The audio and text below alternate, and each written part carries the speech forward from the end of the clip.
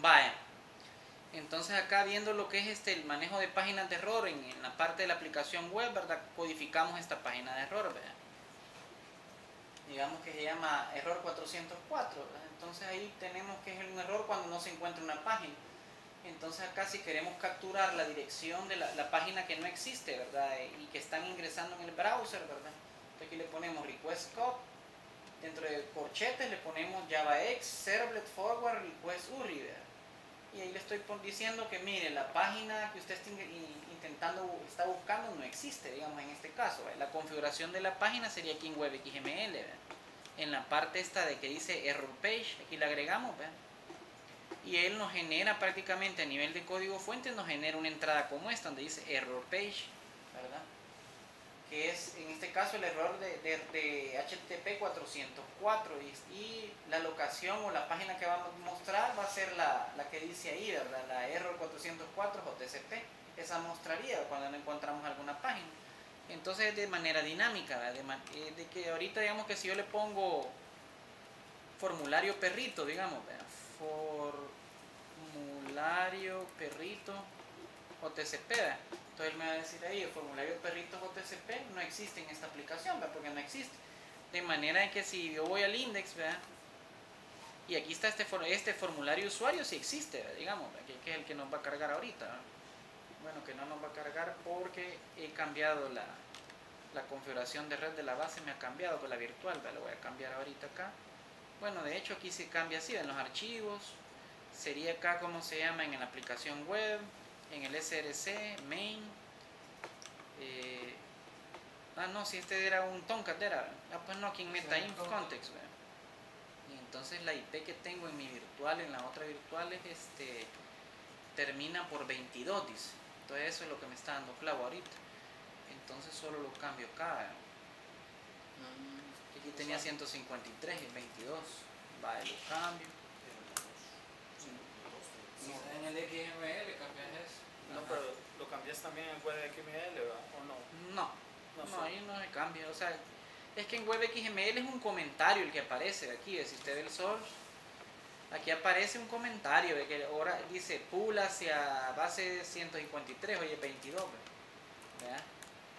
Y entonces eso es todo. Ahorita ya lo deployó. Entonces en teoría yo podría acá intentar nuevamente, digamos, refrescar acá. Debería, ahí está, y si ya funcionó que ahí está el mantenimiento JCTL, ya lo cargó. Que era por eso, porque como es el context el que maneja el pool, Ese, o sea, como el Apache aquí, el Apache Tomcat, del context es como, digamos, el Glassfish Web que tenía, la equivalente, entonces ahí lo tiene. Pero ya en producción se, se configuran los recursos del Tomcat, o sea, y se elimina el context, o sea, ya no se usa, ¿verdad? Bueno, entonces este prácticamente sería página de error, ¿verdad? ¿Qué más? O sea, aquí podemos nosotros seguir viendo, aquí otro tipo de código, digamos que si genero una excepción en la aplicación, también podría, digamos, yo cambiar acá, ¿verdad? Digamos que eh, aquí sí está un poco más difícil, tendríamos que programar algún código Java para hacer lo que truene, digamos, ¿verdad? Y poder atrapar la excepción, ¿verdad? Pero un ejemplo, digamos que yo vengo acá y genero acá, ¿verdad? Para, digamos que los códigos 404 los va a manejar con esa página pero digamos que si hay un código, eh, le voy a poner error java lang exception, digamos, si cualquier otro tipo de sección, digamos, le pongo error java lang exception y le doy finish acá, la paginita, y acá le digo, eh, ¿cómo se llama? Error genérico java, para cualquier otro error, para cualquier otro error java.lang.exception entonces aquí le digo errores. Para otro cualquier otro error que debe errores y aquí le vamos a decir le ponemos con L que sería page context y sería error data. Y aquí está, eh, aquí el, error en cual se produjo en el server name o el status code o qué, qué es lo que arroja, digamos request URI y aquí le ponemos entonces request URI vamos a poner acá un pre también para que se vea así un poco más interesante Entonces aquí pueden ir pintando lo que, lo que notaba, digamos. ¿verdad? Ujú. Aquí sería el request URI. Request URI, dos puntos. ¿verdad? De ahí, ¿qué más? Tenem- podemos tener con él otras cosas, ¿verdad? Entonces, page context, error data, ¿verdad? Este es section también, ¿verdad? Ahí pueden capturar cualquiera de los ¿verdad? De ahí, ¿cómo se llama? Status code, ¿verdad? O si no, el throwable, ¿verdad? De un solo, ¿verdad? Le damos el throwable y le ponemos error, ¿verdad? Eh, section, dos puntos, ¿verdad? Y ahí. Va, entonces, ¿cómo se configura este tipo de secciones? Va, nosotros queremos configurar cualquier sección de tipo Java Lang section, digamos, ¿verdad? Entonces, ah, ya sé cómo lo vamos a generar. Y entonces aquí le vamos a decir en webxml, le vamos a adicionar. Para los errores, del- para las excepciones java.lang.exception, ¿verdad? Vamos a utilizar, le dice, esta página, ¿verdad? Vamos a decir OK. O sea que si se dan cuenta, podemos manejar por error code o por exception. Va, entonces vamos a hacer lo siguiente, vamos a volver a cambiar el context y le vamos a poner un IP, la 153, que ahorita no está arriba, la vamos a guardar y vamos a forzar que se genere un error de conexión, ¿ve? Va, entonces, digamos que si yo vengo acá y la refresco acá,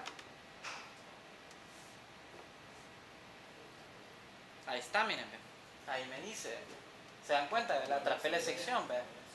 JavaX, JCP section, dice, ¿cómo se llama? JavaX servlet section, enable to, to get connection to data source, dice. Can no create pool factory, error de entrada y salida, network adapter could not establish connection, ¿se dan cuenta? Entonces ahí la atrapé, ya se ve más, mane o sea, se ve un poco más ya de la aplicación, no, no del Tomcat. Entonces ese es como bien genérico, pues ahí lo atrapamos. Entonces ahí nos damos cuenta nosotros de que esa es toda la trama del error. Pero ya le podemos dar otro formato, no sé, como nosotros queramos. Sí, ya ahí ya estás jugando vos con, con personalizando todo. personalizando la aplicación, ¿verdad? Entonces podemos manejar por esas dos, dos formas. Por código de error HTTP o podemos manejarlo como se llama por por eh, tipo de sección, ¿verdad? Digamos aquí, aquí en, el- en el banco, ¿verdad? lo que se maneja es por el tipo de sección, digamos, nosotros tenemos acá una sección de seguridad, digamos, seguridad service section, por ejemplo, entonces ahí atrapamos esa sección, entonces ya decimos, si es de este tipo, la vamos a pintar así, dice usted, entonces ya la pinta y la personaliza. Al usuario no le va a poner esa cosa, esa gran trama, porque entonces el usuario va a seccionar. Entonces usted le va a poner, mire, o sea, no me pude, usted tendría que analizar este- esta trama, tener un, un parser de secciones o algo así, ¿verdad? y en base a eso decirle al usuario, mire, o sea, se ha caído la red, o, o aquí al final les dice realmente la causa del error, ¿verdad? que al final les dice, error de entrada y salida, dice network adapter could not establish the connection, o sea, no se pudo establecer la conexión, ¿verdad? porque nosotros a propósito pues, creamos el error, ¿verdad? Vaya. Entonces algo así es que se manejan las, las, las paginitas de error. Lo voy a poner otra vez en el 20, ¿qué estábamos en? 22, dice. Vaya, 22, para que nos quede bien. Entonces eso nos permite como personalizar más la aplicación, como dice Pascasio. Vaya. De ahí, ¿qué más dijimos? ¿Qué otro tema en el que seguía, que usted los anotó por ahí? Eh, con respecto a los servers, El replay, el request dispatcher filtros, y listes, va. El request dispatcher lo vamos a tomar de acá, ¿verdad? o sea, es prácticamente a nivel de lo que es este los servlets. ¿verdad? Quiero ver, estamos hablando en la lección que vamos a ver para eso los request dispatcher es esta, ¿verdad? la que dice servlet avanzado, dice. Acá, esta, que aparece acá, servlet advanced PDF, ¿verdad? entonces en esa, ¿verdad? aquí ya la tengo abierta. Este es el básico. El avanzado por acá debería estar, aquí está. Va, entonces es la parte del dar control F, porque solo esa parte, porque ahí son más, este, dan explicaciones sobre la teoría que yo creo que son convenientes que ustedes la lean, ¿verdad? pero digamos ahorita cabal quiero cubrir los temas que me interesan, ¿verdad? en este caso es el, ¿cómo se llama? Request Dispatcher, ¿verdad? miren. Esto es lo que quiero ver. ¿Cómo incluir otro recurso web dentro de un servlet, digamos? Debemos usar el request dispatcher. Entonces, ¿cómo es la sintaxis? La request dispatcher, dispatcher. ¿verdad? Entonces, usted le dice la URL que usted quiere, quiere incluir, digamos. y después le dice dispatcher include para incluirlo dentro de la respuesta. ¿verdad? Yo creo que aquí hay un ejemplo. Por ejemplo, banner servlet, dice, por ejemplo, imagínense. Escribo un montón de código de HTML, el cuerpo lo pongo de un color, creo que este es FFF, tendría que ser como blanco quizás, ¿verdad? De ahí viene y hace- crea un- le dice request get context path y le pone una imagen GIF, ¿verdad? Una imagen, después viene bla bla bla. Y aquí en el post, ¿qué es lo que hace usted? ¿verdad? Dice, quiero ver a dónde estamos llamando el request dispatcher. ¿verdad?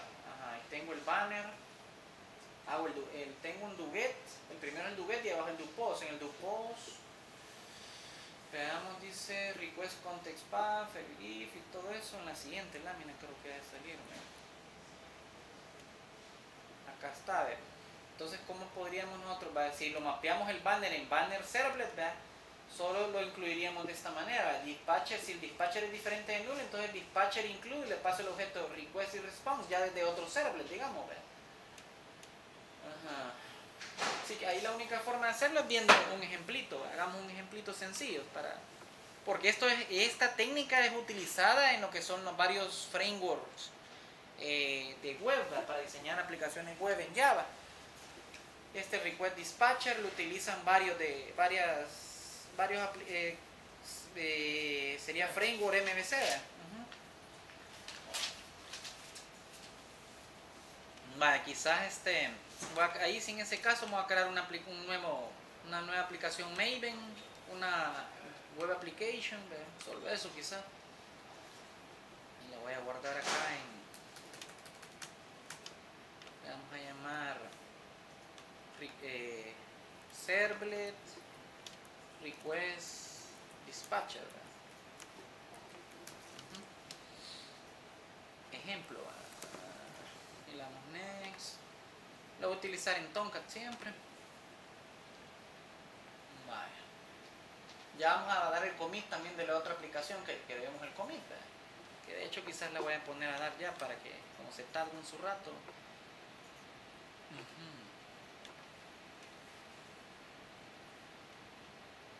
Manejo de errores. ya. Manejo.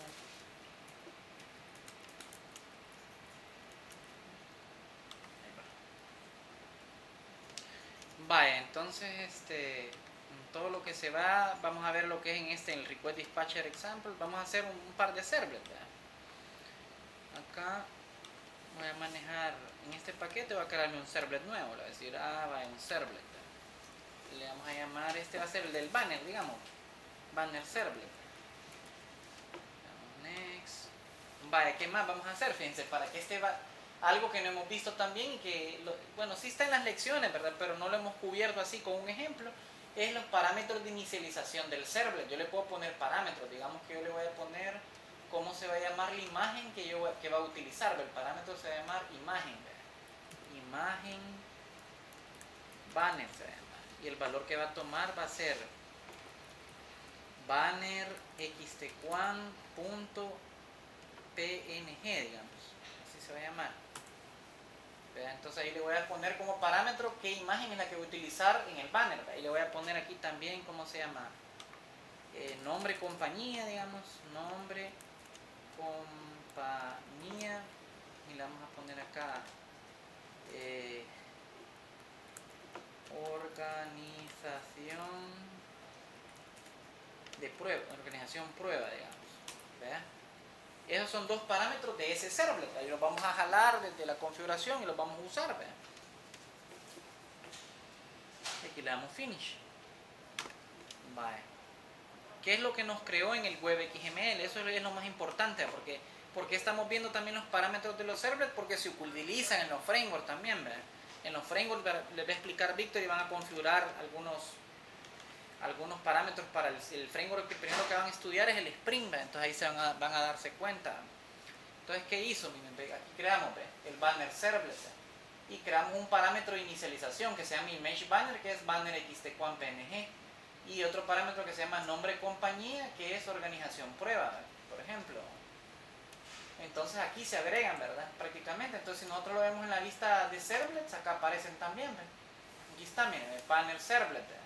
Aquí está la clase que implementa banner servlet, el path en el que está mapeado, Bueno, el path pongamos, cambiémosle aquí, le vamos a poner solo banner, nada más. Banner, ¿verdad?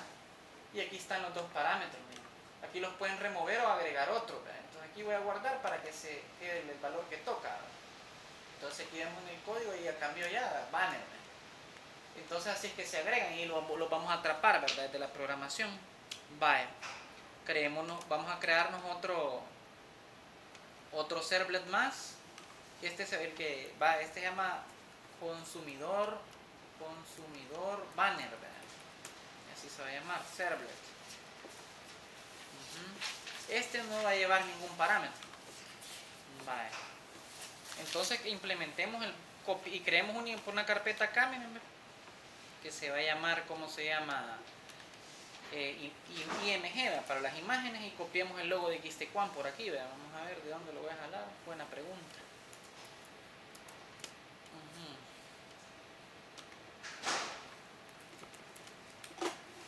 Aquí lo vamos a buscar, aquí debería estar. ¿verdad? Vamos a ver.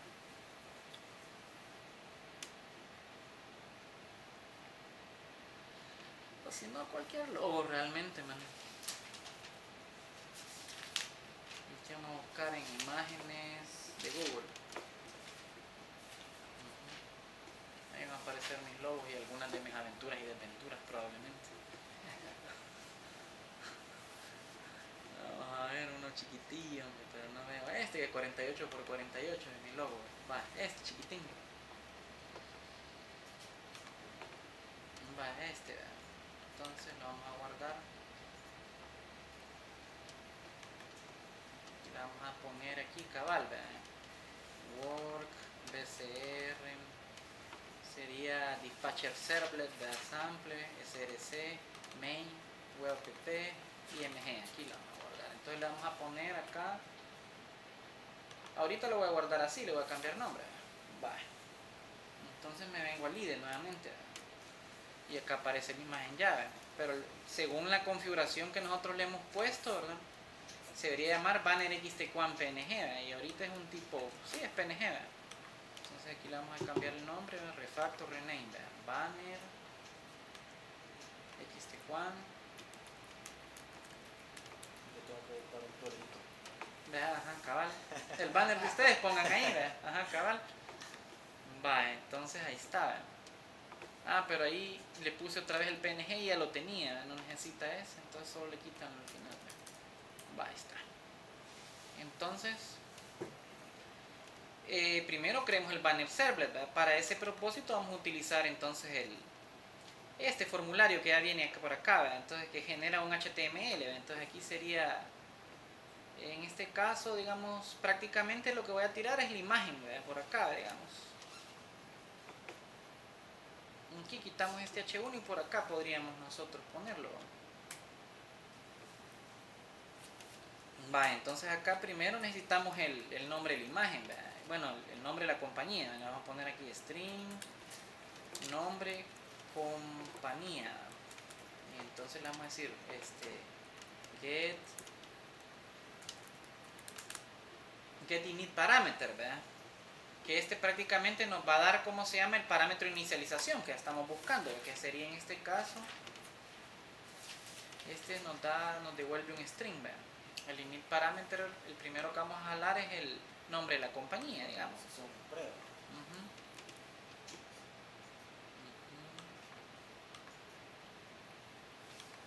Vale. Y después jalamos acá. Aunque esto lo podríamos hacer, fíjense, podríamos sobreescribir el método init y crear acá. Nosotros mejor algo así, ¿verdad? Private.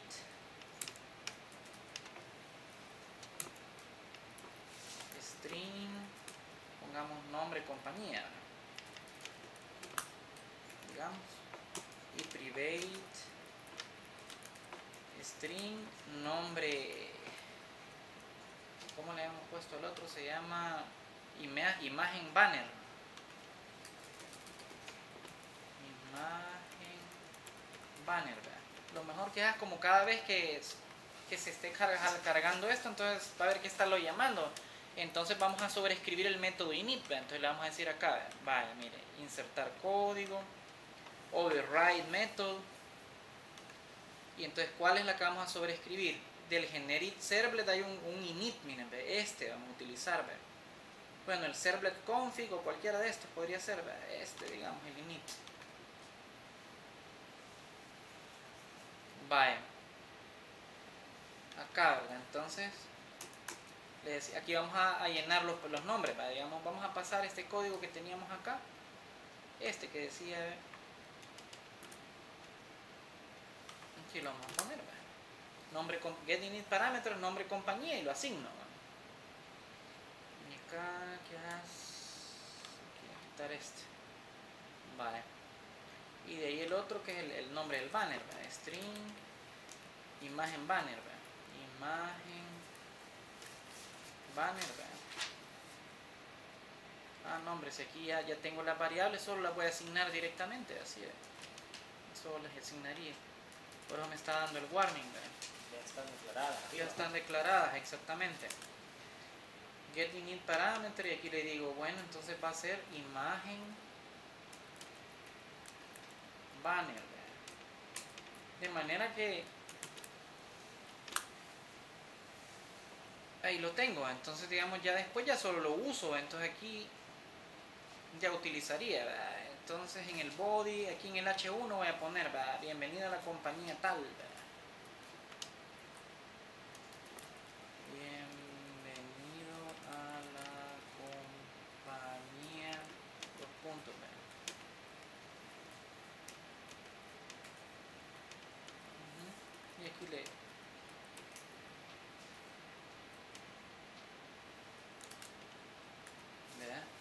y acá pongo cómo se llama el,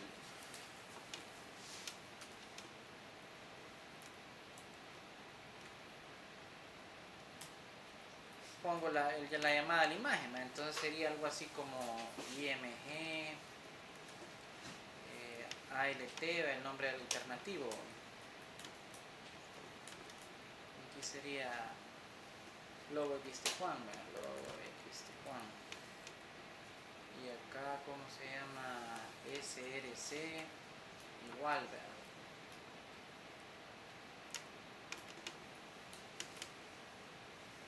Aquí sería así, vean.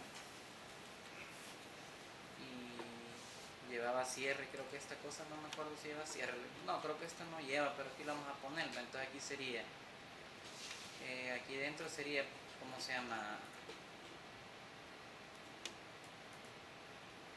Así, ¿ve? se le vamos a poner más, más.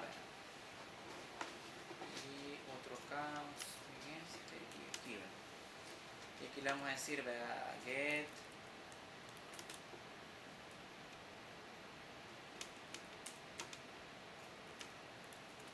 context path, ¿verdad? primero le sumo el context path, ¿verdad? de ahí le sumo cómo se llama este pleca img, ¿verdad? porque ahí van a estar las imágenes, ¿verdad? Eso como estático, y después le sumo cómo se llama cómo se llamaba este imagen banner, quiero ver, aquí me hace falta. Sí, imagen banner.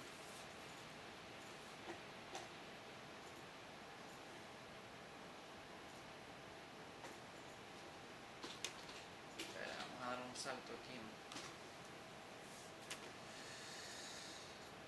Ujú, vaya, este cierre con este, este cierre con este. Banner, ¿cómo es? Imagen banner. Va. Y entonces ahí ya tengo la, eh, la imagen, vean. Quizás la parte esta solo sería, fíjense, incluso sin el body, porque yo solo quiero esa- ese logo, entonces y, y el nombre que de la compañía, entonces bien podríamos omitir esta parte. Ya sabemos que la respuesta va a ser HTML, entonces va y lo tenemos. ¿verdad? Y hoy probemos esta parte a ver qué funciona. Entonces en banner, ¿verdad? entonces le damos run.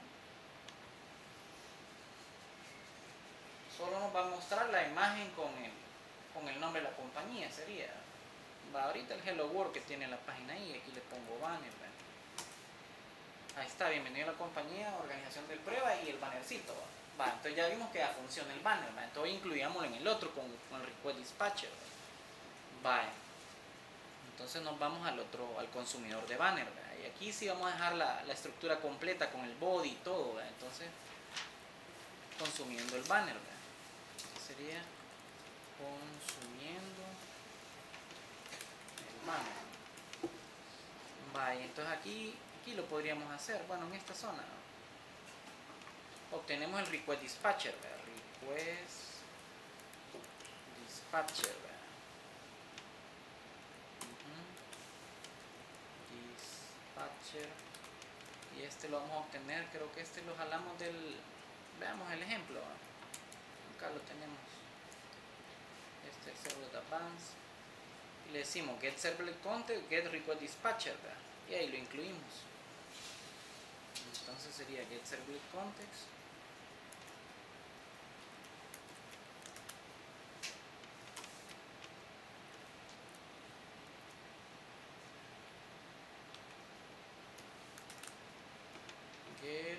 get dispatcher, ¿verdad? Y aquí le decimos. Entonces para, para banner, ¿verdad? Y ahí le decimos cómo se llama dispatcher, ¿verdad? Include, ¿verdad? El request y response, prácticamente. ¿verdad?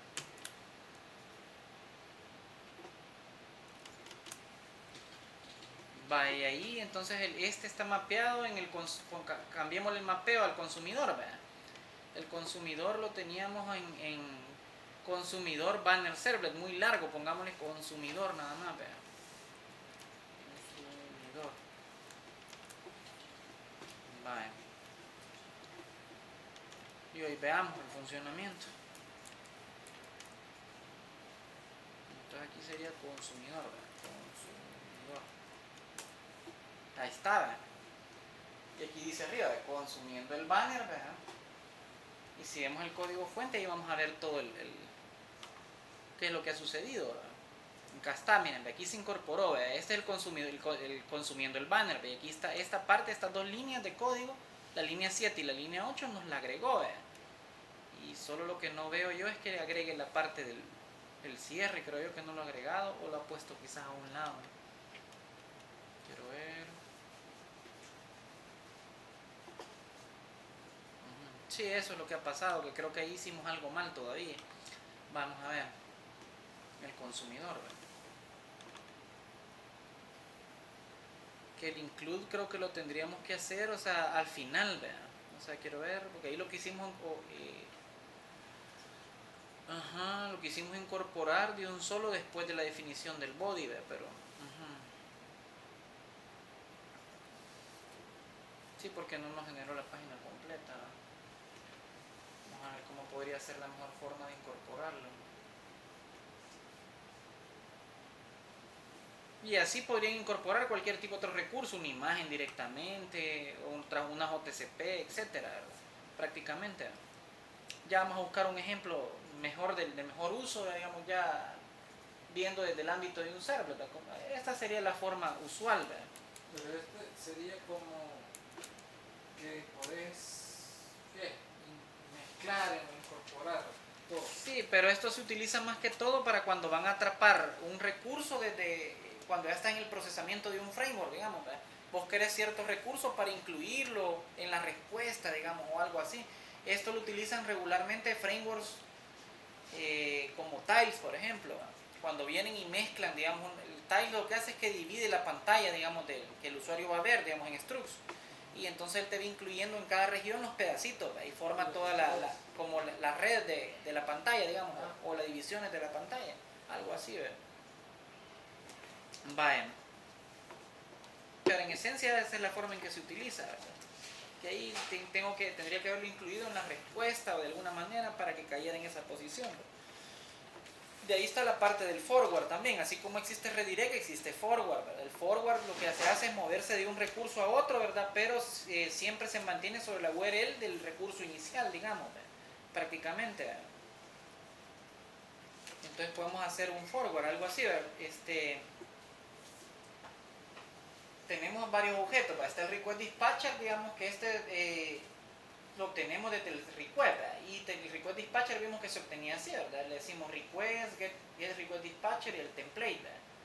y después lo que hacemos con el dispatcher le podemos dar forward también, así como le dijimos include, podemos hacerle un forward, digamos, que es moverse hacia la siguiente hacia el recurso que hemos traído, digamos, hacia lo que es el server. Podríamos hacerlo perfectamente. Entonces el forward, la diferencia del forward es de, a, a diferencia de lo que es el, el redirect, es que el forward, o sea, mantiene la URL original del recurso que originalmente llamamos. Por ejemplo, si yo llamo index.jcp y hago algún cálculo y le doy siguiente, ¿verdad? Y entonces este y me muevo a otra página y esa página después hace forward a otra página, me quedaría con, las, con la página que está en la segunda posición, digamos. Si index manda a llamar a procesar y procesar redirecciona a respuesta, por ejemplo, si doy forward, entonces me- la URL se vería como que si estoy en procesar, ¿verdad? Pero realmente he pasado a la siguiente página. Se utiliza en la mayoría de frameworks también para poder hacer este, redirecciones y todo eso. Entonces, ¿cómo sería? Un ejemplo de lo que sería el forward. Siempre vamos a obtener el request, el, el request dispatcher, ¿verdad? Pero es como para hacer el tráfico, ¿verdad? Entonces, ¿cómo podría ser esto? Vamos a ver. Eh, otro servlet voy a poner. Otro servlet. Y aquí sería forward. Forward servlet. ¿verdad? Siguiente.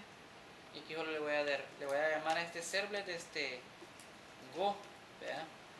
Finish. Va, entonces ¿qué haría acá? Digamos. Dependiendo de lo que me estén mandando, digamos que.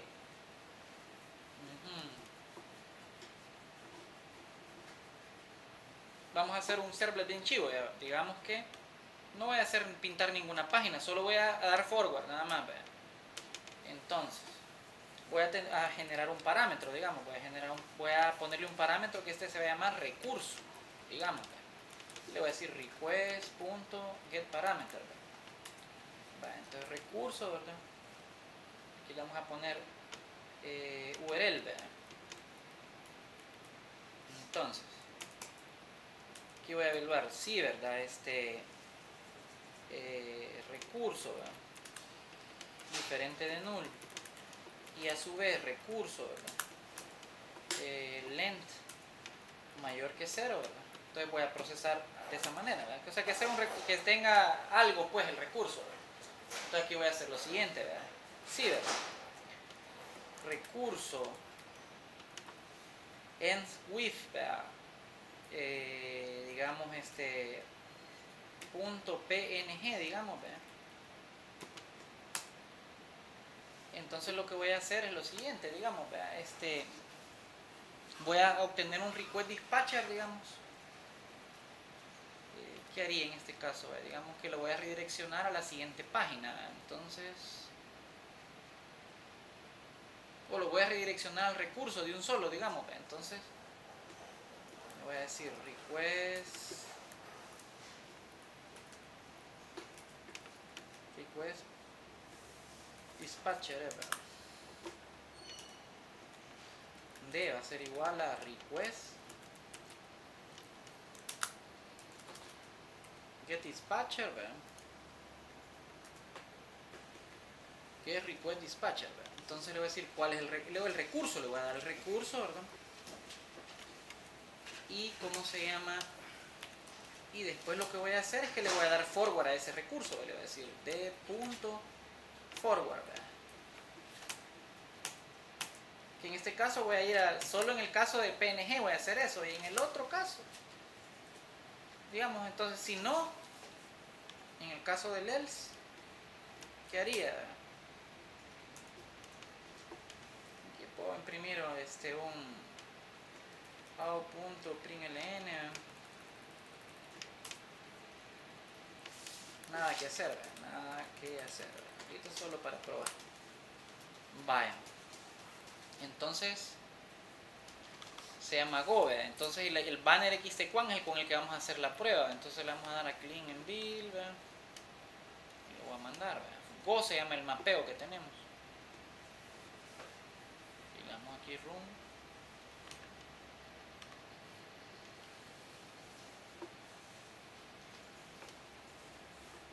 Entonces aquí si yo le digo go, eh, ¿cómo era? URL, habíamos dicho que era el, bueno, go y le pongo el parámetro URL y va a ser img Banner XT1 creo que era. Banner XT1.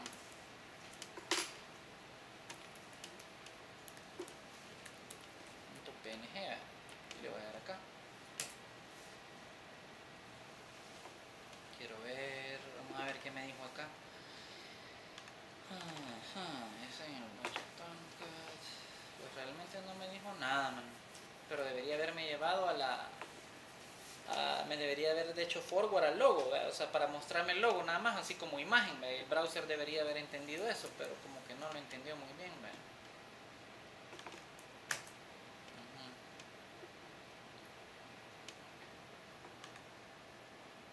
Ahí quizás lo que podríamos hacer entonces, porque si no, ah, si el recurso end with, este con PNG, ajá, y forward.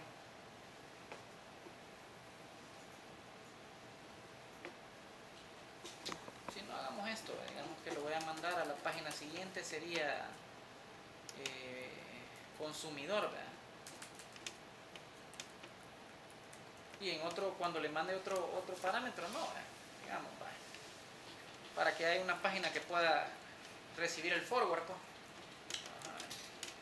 Entonces si yo le digo acá go ahí está entonces si se dan cuenta es lo siguiente el forward la diferencia con el cómo se llama con el forward la diferencia con el redirect es el siguiente que nosotros mandamos a llamar Go con la URL. ¿verdad? Entonces la, la- lógica del, del server tenía que si terminaba con PNG, entonces le iba a mandar a eh, consumidor. ¿verdad? Entonces este es consumidor. ¿verdad? De hecho aquí dice consumidor banner, pero realmente la URL que me está reflejando es la URL anterior. ¿verdad? Entonces esa es como la diferencia. Entonces cuando utilizas forward todavía llevas los parámetros de la URL anterior. ¿verdad? O sea que mantiene la URL que llama, que llama el usuario, digamos. Ajá, la mantiene con sus parámetros y pasa a la siguiente página. De manera que todavía tenés vigentes esos parámetros para poder hacer algo más, digamos. En el redirect es diferente, ahí no, ya no tenés los Y parámetros. se va y... Ahí la única forma, si estás usando redirect, es con sesión, vas manejando los parámetros o lo que quieras llevar. ¿verdad? Entonces ese es el dichoso forward. Vaya. Digamos que vamos a hacer un commit de esta parte también, ¿verdad? Lo vamos a comitear para que les quede el ejemplo. Lo voy a mandar.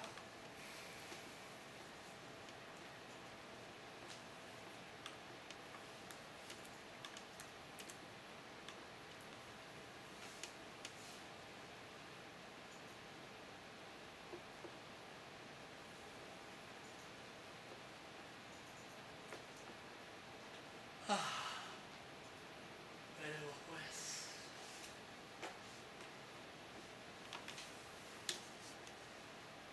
Vale, entonces el otro tema que íbamos a ver este, es este, filtros, creo que. Vale, lo vamos a, vamos a hacer otro proyectito aparte para dejarlos como aparte y ahí después ustedes los integran si los van a usar. Bueno, en todo lo que acaba de, de mandar a esta aplicación, creemos el otro ejemplo, otro proyectito, ¿verdad? Quizás antes de crear el otro proyecto voy a, voy a generar el primer video para que no queden tan grandes, ¿verdad?